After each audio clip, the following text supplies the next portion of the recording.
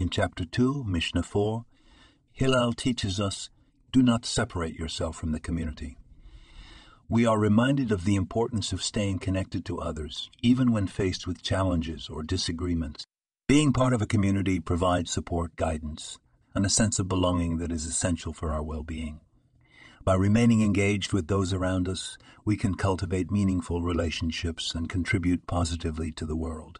This timeless wisdom continues to resonate in our everyday lives, reminding us of the value of unity and togetherness. This podcast was produced and sponsored by Daniel Aharonoff